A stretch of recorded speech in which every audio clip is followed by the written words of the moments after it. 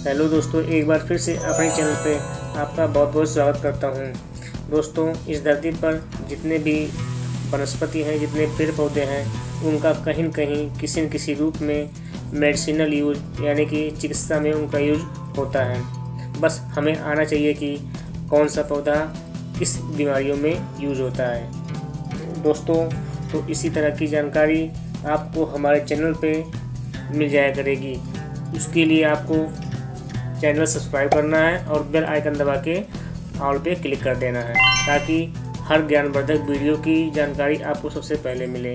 तो इसी क्रम में मैं आज आपके लिए एक सामान्य सा और लगभग हर जगह मिलने वाला मेडिसिनल प्लांट लेके आया हूँ, जिसका नाम है कुकुरौंधा। और इसको वनस्पति विज्ञान में ब्लूमिया लेसरा भी कहते हैं। और कहीं कहीं इसको अन्य नामों से जाना जाता है, जैसे कुकुरौंदा कुकुरबंदा कुकुंगा और नेपाल में इसको बुगी नाम से भी जाना जाता है। और इसमें दो चार जो केमिकल कंपोजिशन पाए जाते हैं, उसको बता देते हैं। लेग्नोफाइलम एस्टर लेग्नोफाइलम एसिड और नीरो लिडोल जर्माक्रीन कुछ ऐसे ही मेन मेन इसमें कंपोनेंट पाए जाते हैं।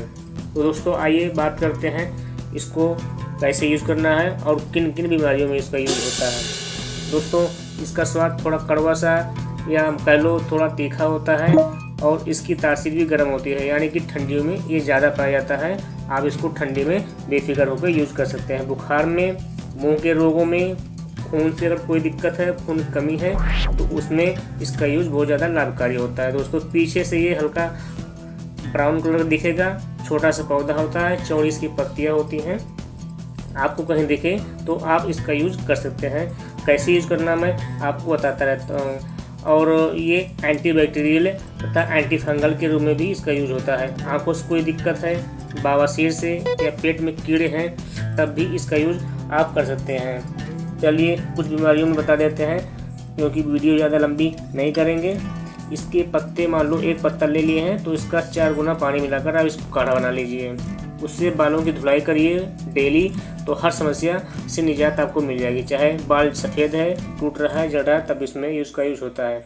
पत्तियों को निचोड़ लें, लगभग दो बूंद रस इसकी आँखों में डालें तो आँखों का दर्द खत्म हो जाता है उससे कोई भी दिक्कत है तो ख़त्म हो जाती है। पेट के अंदर कीड़े हैं तो पाँच एम इसका जूस पाँच एम शहद मिला के खिलाएँ बच्चों को या बड़े को तो उससे आपको निजात मिल जाएगी। दो ग्राम पत्ती के चूर्ण को रोज़ाना सुबह शाम छाछ के साथ कुछ हफ़्ते तक पिए तो उसमें भी आपको बहुत ज़्यादा फ़ायदेमंद होगा बवासीर में। और अगर मान लो खूनी बवासीर है तो पाँच से दस एम इसका जूस आप पी सकते हैं और उसमें मिश्री और काली मिर्च का चूर्ण मिल, मिला सकते हैं। दो दो सौ एम पानी लगभग उसमें आप डेली पिए, आपको आराम मिल जाएगा। और मान लो कुष्ठ में दिक्कत है, चोट फोड़े फुंसी तो उसमें क्या करते हैं, इसको पत्तियों को ऐसे निचोड़ लेते हैं। निचोड़ने के बाद उसका रस भी लगा देंगे और इस पत्तियों का लेप भी लगा सकते हैं। और मस्सा है आपको बावसीर से तो उसमें भी इसका यूज़ होता है। उसमें बहुत ज़्यादा फ़ायदेमंद होता है। ये ज़्यादातर ये तरीका गाँव में अपना जाता है। कहीं कट गया है, खून रोकने के लिए भी इसका यूज़ होता है। तो दोस्तों, आज के लिए बस इतना ही। Thank you.